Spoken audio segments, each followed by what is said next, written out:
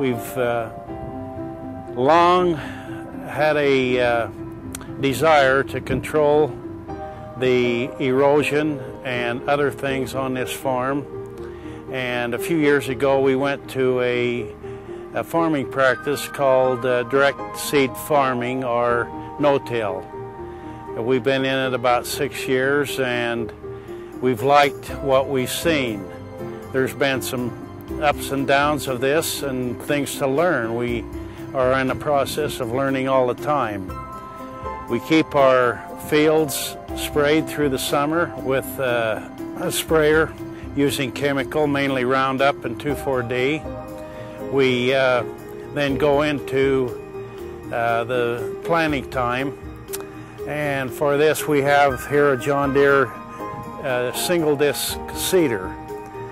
Uh, this drill works very, very well in your uh, heavy stubble fields.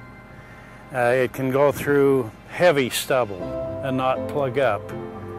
And it, uh, it has this feature on it, the opener's about 10 inches apart. You have an option of putting different closing wheels on. And you'll see here I've got a spike one.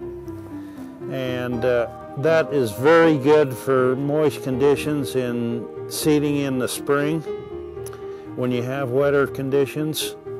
And it goes around and it moves the soil back in over the area where the seed has been planted. You have a nylon strip here.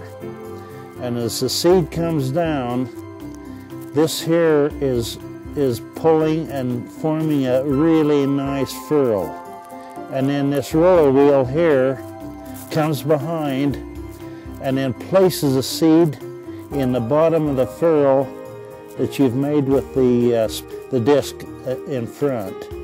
And this here uh, pulls away any dry dirt and moves it out of the way as the seed drops down and then this immediately closes behind so that the wheat is always in the moist soil. And you can see little bits of uh, 1152 fertilizer that's been put right in with the seed. It's harvest time and, and uh, uh, this is the ending up scene of a, of a crop a year uh, with, with, a, with a harvest anyway. And uh, this header is called a stripper header. It's a Shelbourne stripper header. The header's made in England.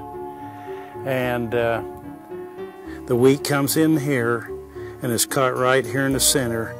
And it, it's turning 550 revolutions per minute. And it just strips the wheat right out of the head and throws it in the back. And then the auger takes it over to the center of the combine. After the stripper header comes through, you can see the wheat here in the background. It hasn't been harvested yet. And when it comes through and takes the, takes the kernels out of the head, then you have this kind of residue left. You can see the standing residue almost as high as the wheat. And the rows here are 10 inches apart. And this is what is left with the residue after the stripper headers come through. You can see all the standing straw. There's very little straw that's laid down only when your tires of your combine goes, goes over it.